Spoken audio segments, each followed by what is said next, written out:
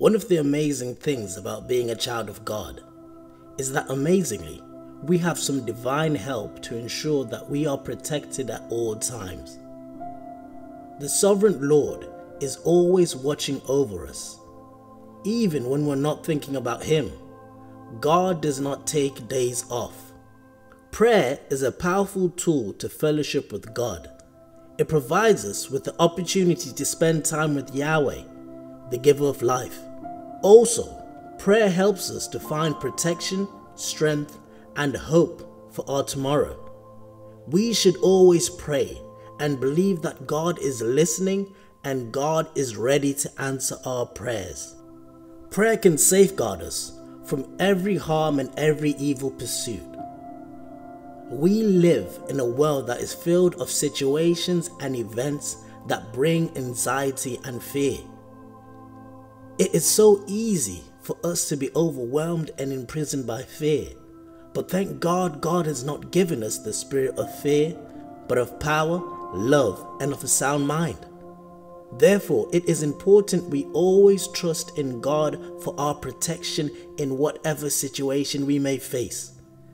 We should never underrate what prayer does for us in all circumstances. The good news is our Heavenly Father understands exactly what we need when we ask Him. Therefore, if you're praying for protection for yourself, your children, or your family, or the world, know that God is listening and be confident that He will answer. Now let us pray this prayer every day. Almighty and everlasting Father, we give you all the praise, all the glory, and all the adoration. You have protected me during this night. You have, Lord, with the invisible protection of your providence, have preserved me from the power of the enemy. And I thank you for that, Lord.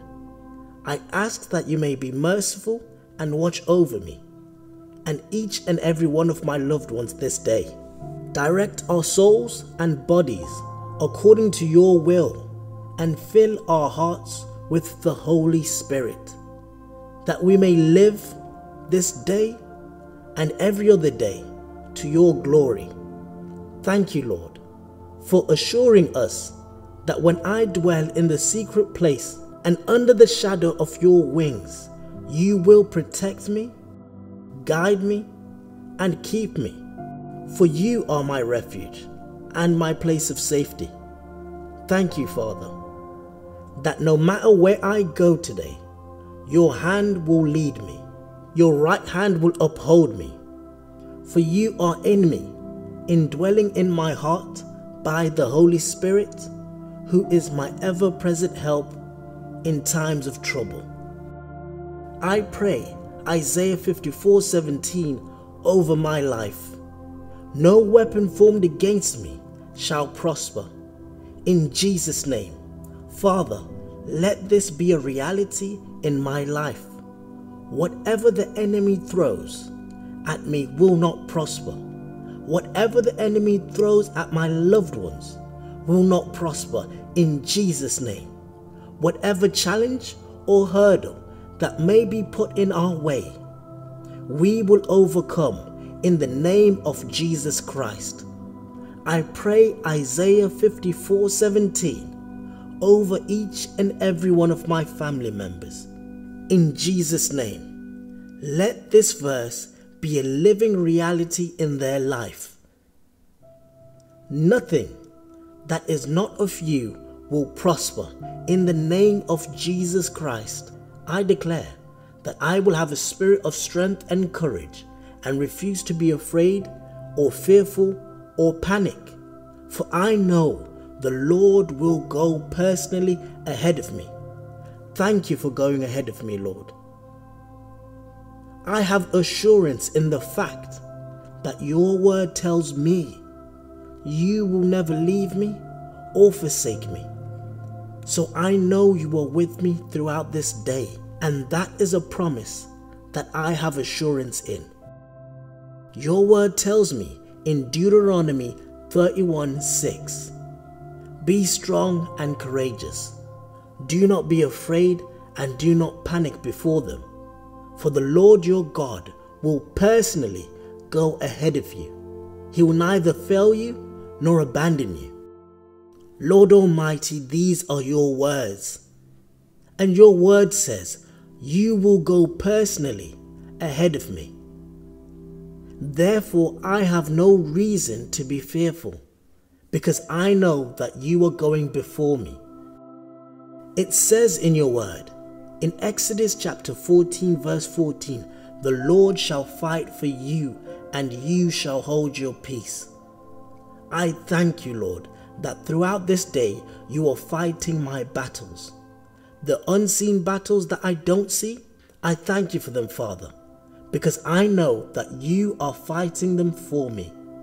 I thank you for this divine protection. You are my protector. You are my shield. I commit myself to you. I commit all of my loved ones to you in the name of Jesus, that you may protect us from the hidden dangers, health issues, emergencies, and accidents in the name of Jesus. I apply the precious blood of Jesus on each and every one of my family members in Jesus' name. Father, in this year, I need your protection now more than ever. We need your covering now more than ever. And the wonderful thing about you, Lord, is that when I need you more than ever, you always come through. For you are a God that never fails. Therefore, we have assurance in your protection, Lord. We have assurance in the protection of the God that never fails. I am thankful for this. I am grateful, Lord, that you have promised to be my shield and my protection. I ask in faith that the light of your presence may shine upon me and enfold us as we go through this day. Father, we ask that you may protect us and all of our families from all the evils that lurk in the world or that may try to endanger us in Jesus' name. You see things that we don't see. So we place our lives in your hands, Lord keep and uphold us from all the evils and all the worries that could try to approach us this day in the name of Jesus. Place a hedge of safety and protection around us in the name of Jesus. Father, our thoughts are fixed on you. We pray Isaiah 26 3 that you will keep us in perfect peace all because we trust in you. Thank you that your peace is overflowing in our lives. You are our strength and our refuge. Therefore, we declare that today we will refuse to fear and that no fear may enter our lives in Jesus' name. We trust in your protection, Lord. Therefore, we refuse to fear though the world may be shaken or removed. Therefore, we refuse to fear, though the world may be shaken or removed, and the mountains carried away in the middle of the sea.